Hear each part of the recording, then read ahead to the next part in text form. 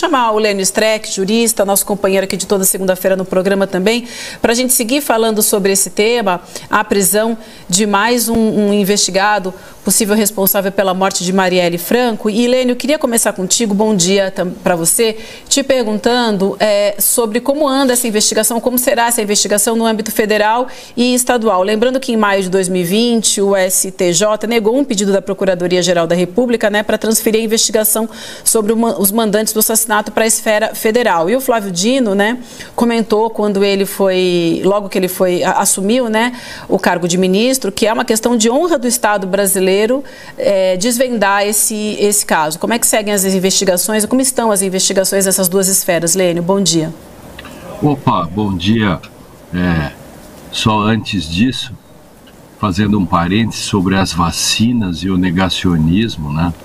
É, e Hugo Mercier tem um livro chamado Not Born Yesterday, Não Nascido Ontem, que ele diz que tem dois tipos de crenças.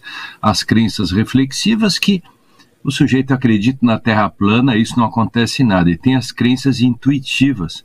O sujeito, por exemplo, acredita que Newton foi um farsante, mas essa ele não vai testar. Ele não se atira do décimo andar para dizer que é o negacionismo dele, que é a a lei da gravidade não existe, ele não vai testar. Então veja que tudo nessas coisas, essas crenças todas de negacionismo não são crenças intuitivas. A maioria dessas pessoas vai lá e se vacina escondida, a maioria dessas pessoas diz uma coisa, tem um tipo de coisa e na outra faz diferente, né? Mas o caso Marielle é, tem uma coisa aí que esse Maxwell aí, parece que é esse o nome dele, ele já foi condenado, né? É, por obstrução. Interessante que alguém no Brasil é condenado por obstrução da justiça num crime, mas não se descobre qual é o crime. Esse é o primeiro, a primeira coisa meio bizarra, assim. A segunda questão é que se de fato há indícios uh, de que ele escondeu o carro, é, é, é, esse indício é, se você puxá-lo dali, é uma pena que sai não um frango, mas um galinheiro todo. E mais, eu acho que esse Adailton pode não ter tido nada nos WhatsApp, mas eu acho que no assopro, sabe aquelas conversas que tem na delegacia, do tipo, não vou dizer nada oficialmente, mas quando encerrar tudo aqui eu te digo uma coisa no ouvido. Eu acho que dali dessa conversa com esse Adailton, etc., ou gente desse tipo, essas informações que levam a esses achados sempre são informais, né? É, é, não aparece ninguém que diz, mas alguém disse que. E aí vem toda a questão.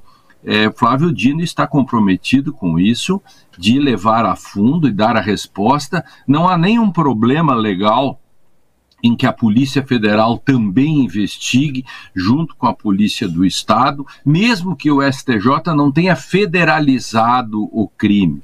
Então não há nenhum problema é de que a polícia faça as investigações. A competência continua sendo da Justiça Estadual, por quê? Porque o STJ não levou para a Justiça Federal. E isto não significa que a Polícia Federal não possa investigar, porque uma coisa é competência, sem fazer juridiquez aqui. Uma coisa é a competência jurisdicional, outra coisa é atribuição investigativa.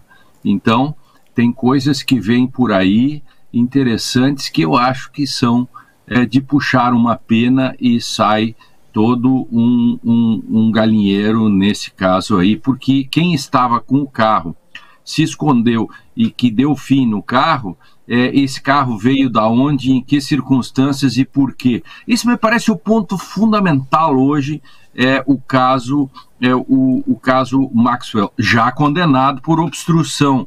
Veja, obstrução de quê? Então, fechando isso, dá um bom PowerPoint, né? Em especial, Lênia, porque falando em obstrução, primeiro é um bom dia, é sempre um prazer a gente ter você aqui com a gente no ICL. É, o governo Bolsonaro, durante quatro anos, tentou obstruir o máximo que pôde essas investigações. Né? A gente precisa lembrar que claro. o governo Bolsonaro foi investigado por tentativa de obstrução na Polícia Federal e também nas polícias do Rio de Janeiro. Então, é uma nova fase da investigação com o um novo governo, que não tem essa amarra de tentar impedir a investigação. Por isso, vale a pena trazer de volta esses, esses, esses elementos já investigados para essa investigação da morte da Marielle, né, Helênio? São, são dois mundos.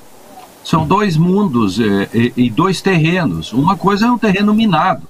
A polícia andava num terreno minado e não chegava a lugar nenhum. No momento que chega um novo governo e limpa o terreno, fica mais fácil de enxergar as provas. Né? Tenha certeza que logo, logo vai aparecer, porque isso, isso que você disse é fundamental. Uma coisa é você investigar quando tem quinta coluna no meio atrapalhando. Né? É, outra coisa é você investigar quando há um aspecto colaborativo e com a séria intenção política de chegar a um resultado final que é a descoberta. Tem mais uma, uma notícia aqui, deixa eu ler para vocês, a gente recebeu aqui agora há pouco também, eu vou abrir aspas aqui de uma matéria, uh, acho que é uma, uma fala sua até, viu, Lênio? Há mais independência para fazer a investigação e mais recursos, porque vai passar para o âmbito da Justiça Federal, do Ministério Público Sim. Federal, da Polícia Federal. Não tem as injunções locais, pressões sobre a Polícia do Rio de Janeiro, sobre nada disso.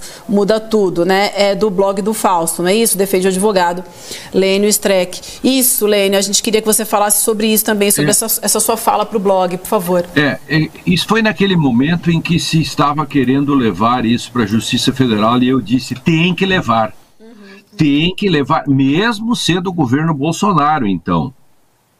Mas eu acreditava mais é, que assim fosse, porque a Polícia Federal é, é, teria muito mais condições, mesmo sendo no governo Bolsonaro, e por isso que naquele momento achava que tinha que levar é, é, só que o STJ acabou negando a federalização disso. Eu não entendi essas coisas assim, são tão simples, são, sabe, existe no direito, é, Chico, tem três tipos de casos: os easy cases, os hard cases e os tragic cases. Esse caso era um caso, é, por exemplo, de levar para a federalização, era um caso simples foi transformado num hard case e virou um tragic case. Ficou essa mistura de polícias federal e, e, e estadual. É, se tivesse sido dada a federalização, quem sabe isso já teria sido respondido, porque, porque a competência de emitir, etc., mandados e outros, é, da Justiça Federal estaria posta pelo STJ. Como não foi, há essa questão de duplicidade de investigações. Eu, eu faria o seguinte agora, se eu fosse o Ministério Público lá. Eu tentaria de novo federalizar. Pois é, Vai professor. aí a dica para o MP. Professor, nós sabemos que no Rio de Janeiro né, é, foi descoberto lá o tal escritório do crime. Né, a, a milícia, os milicianos são inúmeros e eles estão presentes, infiltrados no, no, no aparelho do Estado, né? na Polícia Civil, na Polícia Militar. Então é muito difícil que alguém consiga levar adiante investigações quando muitas vezes aquele policial que está trabalhando junto com o outro na busca de uma informação é um miliciano né, e ligado possivelmente ao escritório do crime que pode executar quem atrapalhar uh, que ameaçar a informação deles. E aí nós temos que tem conhecimento disso o Fabrício Queiroz, que eu citei há pouco, que sumiu, ninguém mais fala de Fabrício, né? Tem que se buscar aquele porteiro do Vivendas da Barra, porque nós não podemos nos esquecer, isso não é uma acusação à família Bolsonaro. Mas o Rony Lessa era vizinho dentro de um condomínio de casas de luxo de Bolsonaro. Rony Lessa né, que, que, que perdeu uma perna no atentado, que ele era segurança de bicheiro. Há toda uma, uma, uma ligação ali de, de, atividades ilegais, como o jogo do bicho, como o escritório do crime de assassinatos, tudo isso junto. Então, tem que ser investigado esse tipo de coisa. E a polícia do Rio de Janeiro, efetivamente, não tem braços para chegar nisso. Tinha que ser federalizado, sim, eu concordo perfeitamente. Claro o, a federalização de, desse caso, né? É, veja uma coisa, amigos, aqui. É, o, o, há um certo paralelo quando nós estamos falando da CPI ou da, da, do caso do 8 de janeiro, há um certo paralelo porque dá a impressão assim que às vezes a gente acha que estamos tratando de um furto de supermercado, sabe? Então é, é, não damos a importância para o caso. Mas o mais interessante disso é que se tivesse sido assaltado o Banco Central e esses personagens estavam envolvidos, vocês não imaginam o que as autoridades teriam feito para buscar o pessoal que assaltou o Banco Central ou tivesse assaltado o Banco Central. Como, entre aspas, né, é, se trata de uma morte, etc., nas circunstâncias, é, tem sempre uma pedra no meio do caminho, etc. Por exemplo, o Fabrício Queiroz, todo mundo fica cheio de dedos para tratar do Fabrício Queiroz. Se o Fabrício Queiroz fosse um punguista ou tivesse feito um assalto, eles já teriam tirado, teriam investigado toda a vida dele, todo o telefone dele teria sido rastreado, todas as contas dele em tudo que é lugar. Agora, como se trata de outra circunstância, um personagem que tem relações importantes, se fica um, um, um certo dedo. O, o, Brasil, ele analisa, ele tem um olhar duplo sobre essas questões criminais. Né? É, se quando se trata de, de autoridades ou grandes figuras, é, os dedos aparecem longos, né? fica-se cheio de dedos. Quando se trata da chinelagem, ou quando se trata de crimes contra o patrimônio enormes, quando se trata de um assalto, outras coisas, aí as autoridades elas são elas são expeditas e também não ficam tão cheios de dedos, por exemplo, com personagens como cá para nós, né? Depois que o Fabrício aprontou, se escondeu, saiu, correu, foi para casa do advogado, fez tudo aquilo, ainda foi candidato a deputado e quase se elegeu.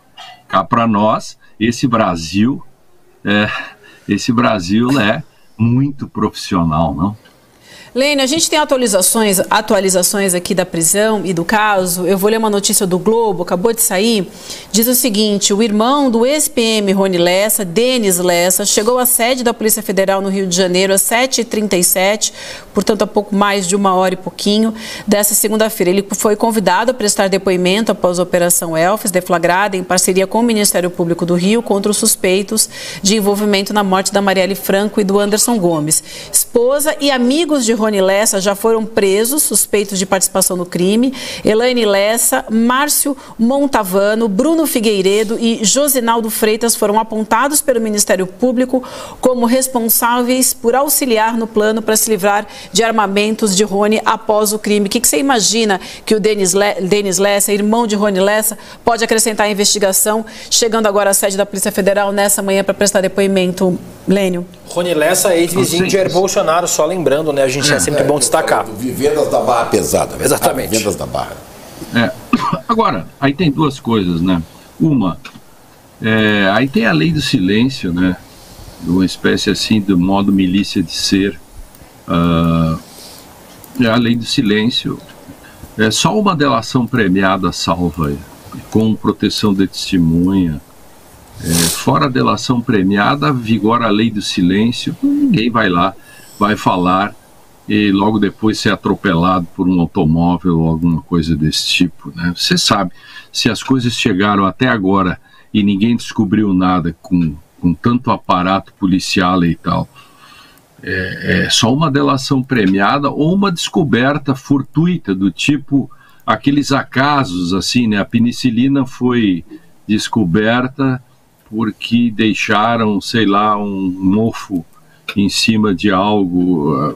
O crime desse se descobre é por um, por um acaso, né? Quase coisa de filme.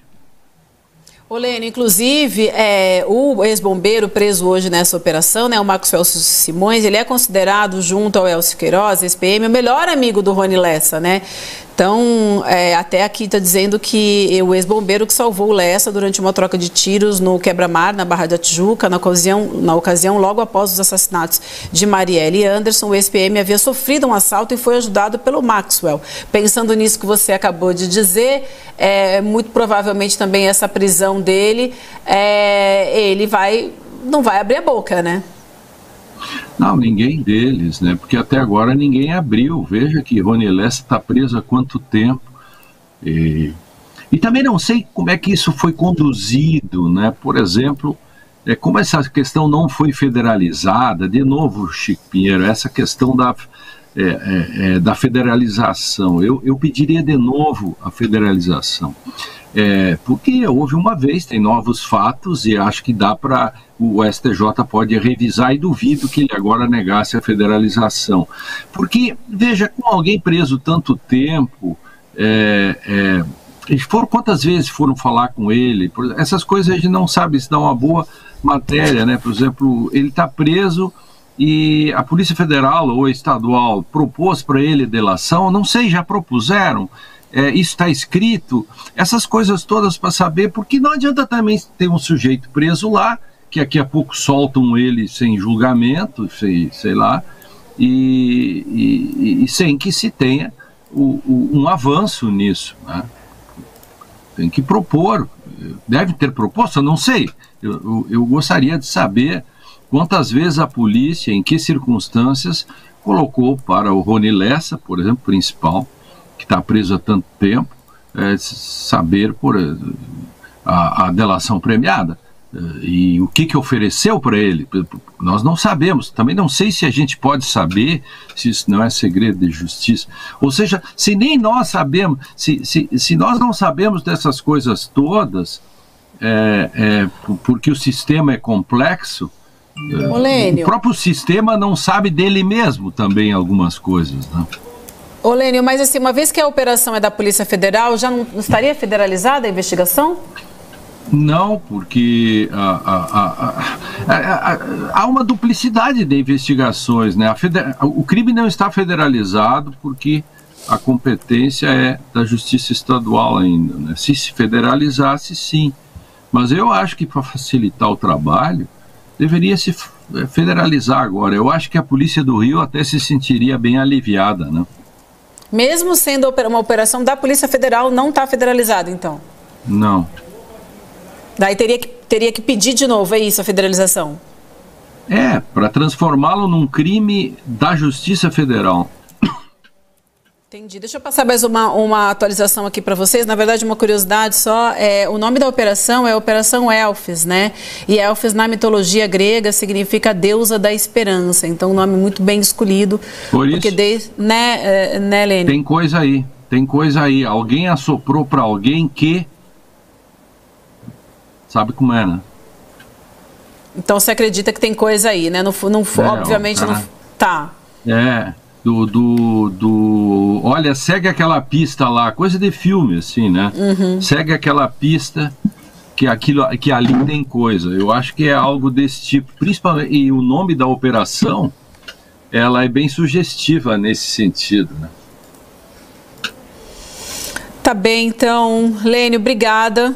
A gente segue por aqui acompanhando o caso. Qualquer novidade, a gente te aciona novamente. Obrigada pelas explicações aqui. Lene, foi muito importante isso que você trouxe sobre a federalização, que é sempre uma dúvida aqui nossa.